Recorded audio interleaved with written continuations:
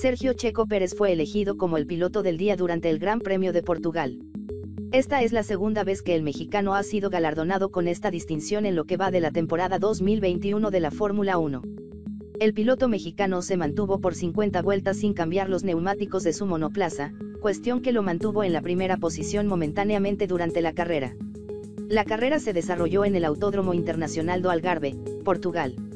A pesar de este esfuerzo, el piloto mexicano terminó la carrera en la cuarta posición, por detrás de Lewis Hamilton, Max Verstappen y Valtteri Bottas.